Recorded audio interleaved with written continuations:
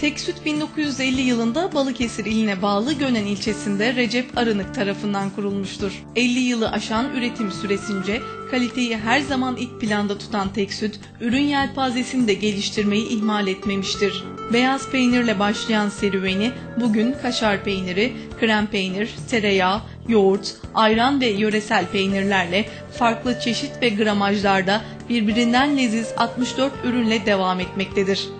Tek Süt Süt Mamulleri Sanayi Ticaret Anonim Şirketi Yönetim Kurulu Başkanı Cevdet Arınık, 55 yıldır faaliyette olan firma ile ilgili bilgiler verdi. Tek Süt bundan 55 yıl önce babam Recep Arınık tarafından Balıkesir'in Gönen kazasında temelleri atılan bir kuruluştur. Gönen'de Çanakkale yolu üzerine 50 bin metrekare açık, 15 bin metrekare kapalı alanda üretim yapmaktayız. Günlük mevsime göre değişiyor. 300 tonla 400 ton arası ham madde geliyor, süt geliyor. Bunlar beyaz peynir, kaşar peynir, krem peynir. Üç tane ana ürün. Ve diğer yöresel peynir çeşitleri, örgü peynir, e, labne peyniri, çeçil peyniri gibi 30'a yakın çeşidimiz bu sütten mamul hale getirilip yurt içi ağırlıklı olmak üzere Türkiye'nin her yerinde ayrıca da ihracat ürünlerimizi imal edip satmaktayız. 1997 yılında ilk Amerika'ya başladık. 13 senedir Amerika'ya ihracatımız var. 4 senedir de Kuzey Irak'a ve Irak'a ihracatımız var. Bunun haricinde zaman zaman diğer ülkelere de ihracatımız oldu ama en uzun süren sürekliliği olan kendi markamızda Amerika pazarında 13 seneden beri mallarımızı satmaktayız. E, labne üretimine yeni başladık. Bu labne peyniri Türkiye'den çok yurt dışında daha büyük pazarı olan bir ürün. Bilhassa Arap ülkelerinde. Burada pazarı büyük olduğu için bu üretime başladık. Ama iç pazarda da satacağız bunu. İç pazarda da başladı satılmaya. Kuzey Irak, Bağdat, Irak ve ayrıca Lübnan ve Suudi Arabistan'dan teklifler almaktayız. Onlara da ihracat yapacağız.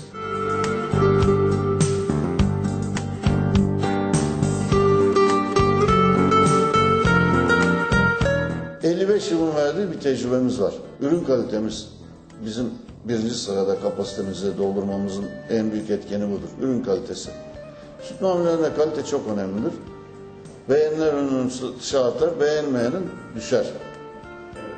Her yaptığımızın en iyisini yapma gayreti ve araştırması içindeyiz. Bunun için hijyen kuralları çok önemlidir. Kalite e, çok önemli oluyor. E, hijyenle çok bağlantılı bu. Hijyeni sağlayamadığınız takdirde iyi bir ürün çıkarmak söz konusu bile değildir. Hijyen ve bilgi, tecrübe, üretim bilgisi, üretim tecrübesi çok önemlidir. Çünkü tamamen o bilgi ve tecrübe, hijyen hepsi birleşirse iyi bir ürün kalitesi ortaya çıkıyor.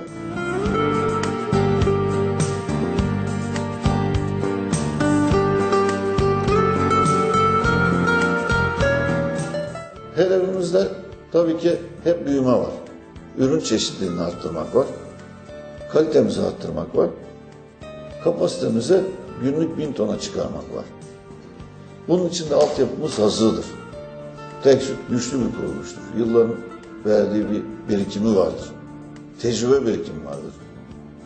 Altyapı birikimi vardır. Pazar birikimi vardır.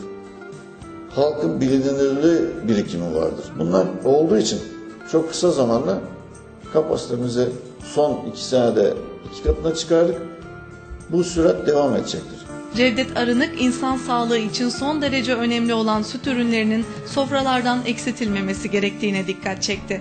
İnsan sağlığı için çok kıymetli olan süt ürünlerini halkımızın sofrasından eksik etmemesini tavsiye ediyoruz. Beşikten mezara kadar herkesin tükettiği, her insanın ihtiyacı olan bir üründür bunlar. Bunların tüketilmesinde insan sağlığı için büyük gereklilik var. Bunu özellikle vurgulamak isteriz. Sanayicimize, yatırımcımıza da süt hayvancılığına, et hayvancılığına, süt sektörüne yatırım yapmasını tavsiye ederiz.